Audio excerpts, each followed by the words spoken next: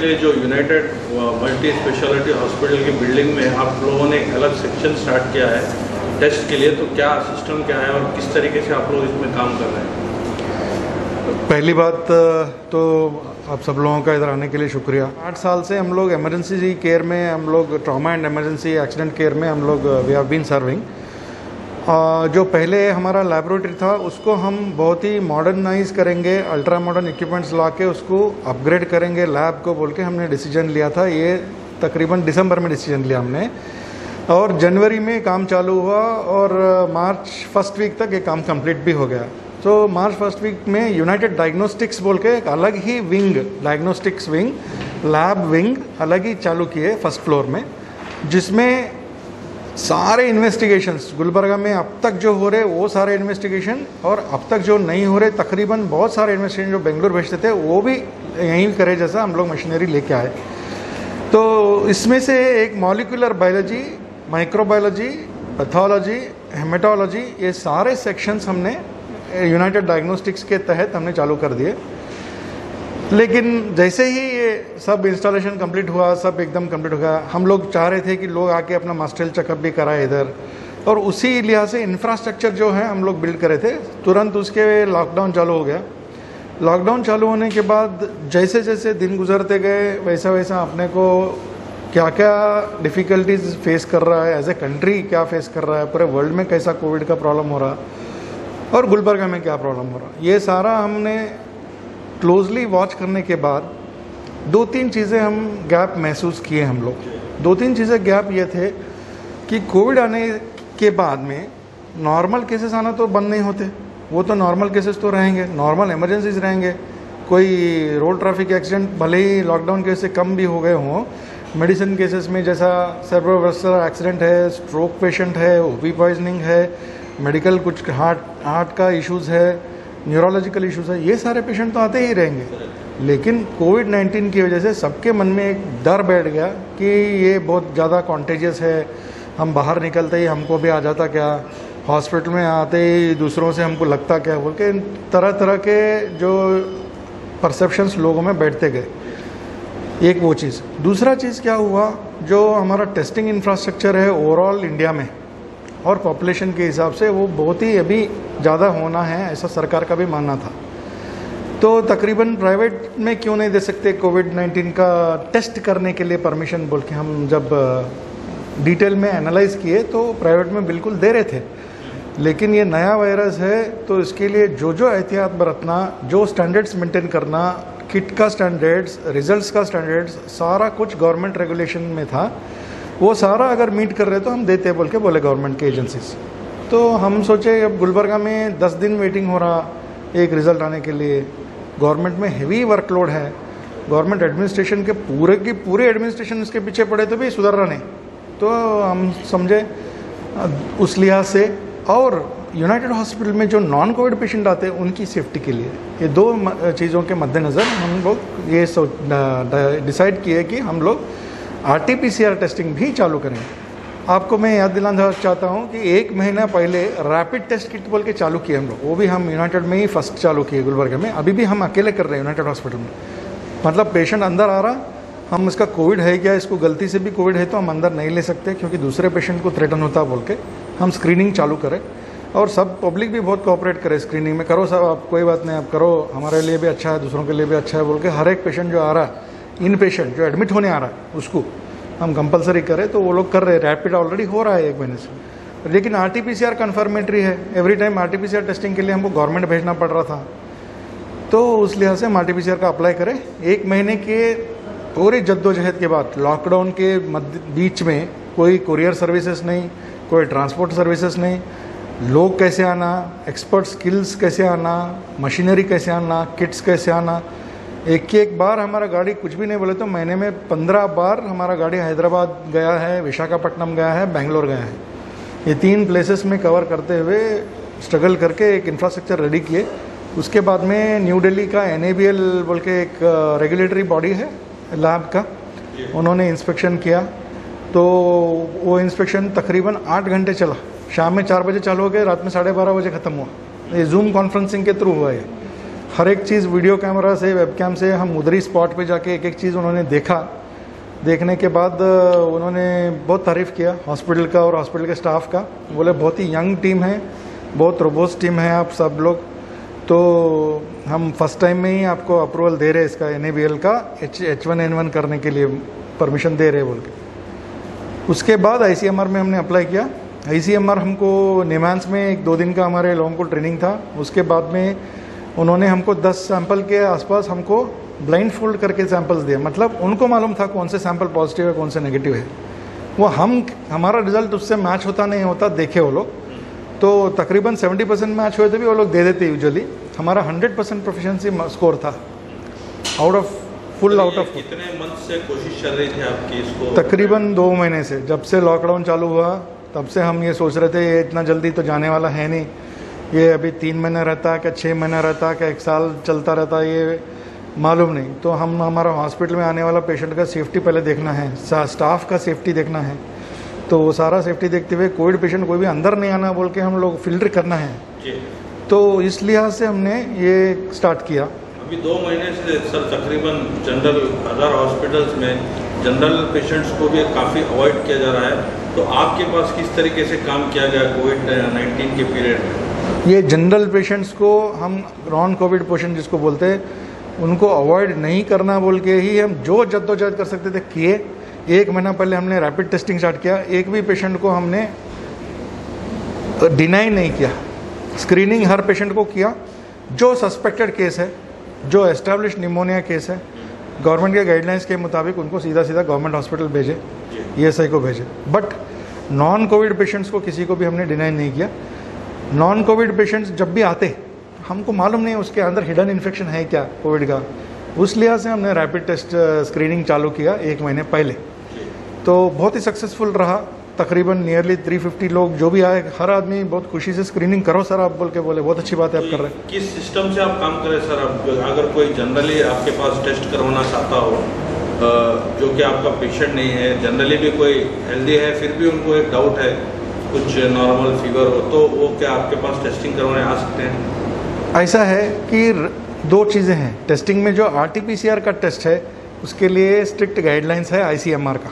ICMR मानी Indian Council of Medical Research एक main nodal body है जो इस पैंडमिक को रेगुलेट कर रहा है।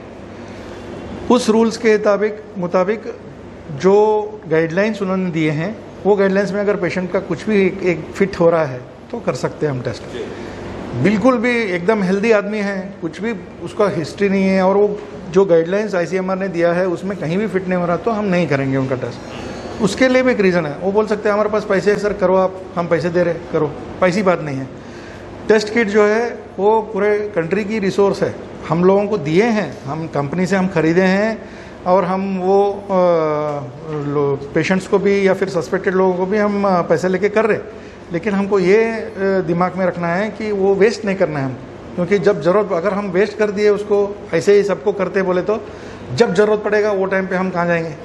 जिनको ज़रूरत पड़े ज़रूरतमंद पेशेंट रहेगा उनको कहाँ फिर कहाँ जाना उन्हों? इसके लिए एक फिक्स्ड गाइडलाइंस है। कर्नाटका में कितने हॉस्पिटल्स में ये इसकी फैसिलिटी अवेलेबल है? हम बहुत एक बात खुशी से ये हम आप सब लोगों के सामने रखना चाह रहे हैं कि R T P C R I C M R recognised private lab United Hospital पहला लैब है जो आउटसाइड बैंगलोर है। सो ये एक बहुत बड़ा अचीवमेंट है हमारे लिए। हम समझते हैं ऐसा। प्राइवेट लैब मतलब प्राइवेट स्टैंड लोन लैब या प्राइवेट हॉस्पिटल का lab outside Bangalore United is the only one हालाँकि मेडिकल कॉलेज में दिए हैं, वो भी आस फार एज दावणगेरी तक कोई भी नहीं है। बीजापुर में नहीं है, बड़गांव में नहीं है, रायचूर में नहीं है, आज की डेट में नहीं है। आज की डेट में सिर्फ़ यूनाइटेड हॉस्पिटल एक ही है पंद्रह सोलह डिस्ट्रिक्ट्स में किधर भी नहीं है प्राइवेट में और ये टेस्ट क्या ब्लड टेस्ट किया जाएगा या किस तरीके का सिस्टम क्या है ये R T P C R हम जब बोल रहे हैं वो तो स्वैब टेस्ट है। जो रैपिड टेस्ट किट है जो हम एक महीने से कर रहे हैं वो ब्लड टेस्ट है। वो एकदम सेफ़ है रैपिड किट का टेस्ट मतलब कोई भी कर सकता है स्क्रीनिंग मॉड्यूलिटी भी यूज़ कर सकते हैं। मान लो एक एक एरिया में ज़्यादा हो रहे हैं हम वहाँ जाके रैंडमली चेक भी कर सकते हैं। ये ब्लड बेस्ड है ये सेफ़ है इससे कुछ नहीं होता। लेकिन आर जो टेस्ट कर रहे, वो हम स्वैब टेस्ट बोलते हैं। उसको एक फिक्स्ड रिजिड प्रोटोकॉल है। फिक्स रिजिड प्रोटोकॉल ये है कि यूनाइटेड हॉस्पिटल में अंदर हम स्वैब नहीं कलेक्ट करेंगे। कोई भी बाहर से पेशेंट आएगा तो। स्वैब हम कलेक्ट करेंगे, कोई इन पेशेंट अगर एडमिट होने के लिए आ रहे हैं और वो कुछ गाइडलाइंस में फिट हो रहे हैं तो इन पेशेंट के लिए स्वैब कलेक्शन फैसिलिटी यूनाइटेड वाले करेंगे। और दूसरे हॉस्पिटल से भी इन पेशेंट है कहीं पे, उनको रिक्वायर्ड है। हमारे को अगर बोले रिक्वेस्ट करे तो या तो उन्होंने कलेक्ट करके सैंपल हमको सैंपल पैक करके भेज सकते हैं। अलग स्पेशल पैकिंग है उसका। वो हमारे पास किट्स है, दस किट्स है, दस जगह एट ए टाइम जा सकते हैं हम लोग। और एक इसमें तकरीबन पचास सैंपल्स हम प्रिजर्व कर सकते हैं। तो हमारे पास इंफ्रास्ट्रक्चर है। वहीं हॉस्पिटल में जाके वो इन पेशेंट का हम लोग लेके आएँगे। दूसरी बात। तीसरी बात और जो वॉक इन पेशेंट्स आएँगे या फिर गवर्नमेंट अगर मान लो डिटेक्ट करेगी तो यहाँ का डिस्ट्रिक्ट सर्वेलेंस ऑफ़िस जो है हमको एक स्पेस डेजिग्नेट करेगा। ये एक क्लियर कट ये है कि अगर कोई ओपीडी पेशेंट या फिर चलता फिरता ऐसा पेशेंट जो सस्पेक्टेड है, उसका अगर स्वाब कलेक्ट करना है तो ओपन ग्राउंड में करना है। ओपन ग्राउंड में बूथ रहेगा, वो एक बूथ के अंदर बैठ के वो करना है। ये इसका मीनिंग ये है कि हर हर पेशेंट को अलग अलग हम पी किट तो नहीं ले सकते। बूथ में अगर वो आदमी बैठेगा, वो सेफ़ है ओपन ग्राउंड में है एयर सर्कुलेशन रहेगा तो क्रॉस कंटेमिनेशन का चांस नहीं रहेगा। कोई भी आदमी आएगा, वो बूथ में बैठ के सैंपल कलेक्ट करेगा, एक दिन में सौ सैंपल भी वो कलेक्ट कर सकते हैं। इस पूरा सेटअप के लिए जो यूनाइटेड डायग्नोस्टिक्स का पूरा लैब है, और ये लैब तो अल्ट्रा मॉडर्न फैसिलिटी वाला लैब है, आने वाले दिनों में तो गुलबर्गा के पब्लिक को, या आसपास के पब्लिक को छोटे से छोटे ब्लड इन्वेस्टिगेशन से, बड़े से बड़ा ब्लड इन्वेस्टिगेशन के लिए भी सारा फैसिलिटी इस लैब में है। और जो हमने ये लैब आरटीपीसीआर का जो लैब एस्टेब्लिश किया है, जो मॉलिकुलर बायोलॉजी का लैब एस्टेब्लिश किया है, उसमें डॉक्टर आयशा फातिमा मैडम का जो पैथोलॉजिस्ट हैं, उनका एक मेजर रोल है। और वही नोडल ऑफिसर भी हैं इसका आईसीएमआर की तरफ़ से। जो कोऑर्डिनेशन मेन नोडल ऑफिसर है, वो डॉक्टर आयशा फातिमा मैडम ही है और इनके अलावा डॉक्टर शांत कुमार एक हैं, जो मेन स्ट्रैटेजी डाल के दिए इसका कि कैसा करना, क्या नहीं करना, ये एक्सपर्ट डॉक्टर है बैंगलोर से। तो डॉक्टर शांत कुमार का भी मैं बहुत शुक्रगुजार हूँ कि उन्होंने इतना अपना टाइम दे के सारा एस्टेब्लिश करने में कोऑर्डिनेशन करने में मैन और मैन और मशीनरी दोनों भी लेके आने में उनका बहुत मेजर रोल है। और दूसरा यूनाइटेड हॉस्पिटल का एक एक स्टाफ एक एक एक एक आदमी इस लैब को जो बनाने के लिए कंट्रीब्यूशन दी है उन सभी का मैं तहे दिल से बहुत शुक्रिया अदा करता हूँ इस मौके पे। और मैं चाहूँगा कि आप एक दो मिनट डॉक्टर आयशा फातिमा से भी आप कुछ भी सवाल जवाब है तो आप कर लीजिए। मैडम ये कोविड नाइन्टीन के लिए जो यूनाइटेड हॉस्पिटल में लैब फॉर्म किया गया है जहाँ तक इसके बारे में आपसे ज़्यादा डिटेल्स मालूम हो सकते हैं ऐसा पता चला तो क्या सिस्टम किस सिस्टम से आप लोग वर्क कर रहे हैं कितने डॉक्टर्स यहाँ पे वर्क करने वाले हैं ये सिर्फ़ इन पेशेंट्स के लिए है या बाहर के पेशेंट्स को भी आप लोग टेस्ट करने वाले हैं Okay. Um, United Hospital RT-PCR uh, spec- specifically for COVID, we have started since uh, five days. Okay. Otherwise, uh, we other tests. We have got ICMR approval specifically for this COVID-19 since five days. Okay. So this lab we have designed specially for COVID-19. We have made certain adjustment adjustments otherwise it was for h1n1 uh, tuberculosis hiv hbsag other viruses and bacteria particularly tb pcr and all we were uh, like we had that plan but for covid we had made one more separate cell to be more precautious to be more precautious for the safety of all the healthcare workers and also the other patients also so uh, this test we are performing uh, for all the admitted patients. Uh, since uh, United Hospital is a trauma care tertiary care center, so all um, um, um, very uh, seriously ill patients will come. So we are making it mandatory for those patients. Okay, so for this hospital patients also and outside hospitals also, anybody is uh, calling for they if they want to get it done, then we will do it. But specifically like it is uh, we are not the collection center. Any hospital like if they are uh, uh, admitted patients if they are asking for we will go collect the sample. Otherwise for the common people we are not collecting the centers. If they send the samples or the um, uh, district uh, administration if they provide that particular area for collection and all, then we are going to proceed with that. So how many of them are working in this lab? Right now, we have got uh, two uh, molecular uh, biologist scientific officers here and the uh, uh, three assistants. There is consultant microbiologist and uh, even uh, consultant pathologist who is also working. Right now, uh, we have got and uh, separately for sample collection also. How We have many, got. what duration is there for this test run? This uh, duration from the sample uh, sample colle- uh, from uh, taking from sample collection to receiving of the uh, till receiving of the hospital that will be do- totally different if you are getting from outside otherwise it is just uh, four and a half hours to five hours What about other patient, ma'am? Uh, it's a compulsory to test the COVID test if any heart patient are suffering from uh, minor fever like that. So it's a compulsory, it's a mandatory to test this uh, COVID. ICMR has uh, categorized the patients into eight categories. Okay, uh, influenza like illness, pneumonia like this thing, then uh, healthcare workers who have come directly in contact with the positive patient, uh, with protection, without protection, asymptomatic patients or symptomatic patients.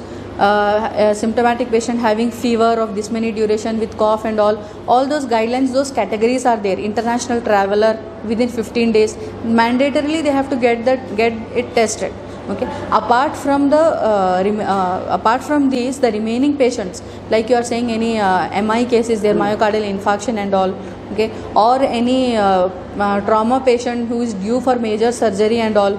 So these patients will be admitted in the hospital in the icu and all for a longer period of time and they might be needing ventil- ventilators or their uh, like uh, surgery might be required. For those patients um, uh, we are exposing our uh, uh, doctors surgeons anesthetists and all and ventilator will be used everything will be exposed if the patient is positive so uh, conducting tests on this those patients is mandatory Ma'am, in a short, can you explain this RT-PCR test? What is this RT-PCR test? Okay, this RTP, RT-PCR is nothing but real-time polymerase chain reaction. Okay, so uh, it it it can detect RNA, DNA of any bacteria or virus. Okay, so regarding this uh, COVID, this is an RNA virus. So we are detecting directly the RNA of that virus. Okay, it is real time based. Polymerase chain reaction means we extract the RNA from that virus and we amplify it polymerase chain reaction we amplify it multiple times so that at particular threshold it will be visible it will be detected And it's a, it's a just like a rapid test or something different? it is not a rapid test it is a, a series of tests. We first extract the rna from the sample then we add a template then with the controls with the positive and the uh, negative controls we see whether we are detecting that particular type of rna or not. Rapid uh, is it is an antibody test. That also card test also we have started since 2 months. Uh, antibody test is a rapid test. Within 15 minutes we get the value. But that that does not detect the virus we detect antibody which is generated after 7 days of infection. So till 7 days we cannot detect whether the patient is exposed or having uh, or whether the patient is infected or not. But uh, from the day one of uh, day one of infection of the patient rt pcr can detect the virus